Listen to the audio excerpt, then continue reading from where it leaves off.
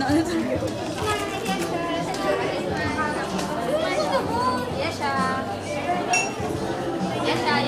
afternoon, everyone, and welcome to the and Filipino Chels right here at City Garden.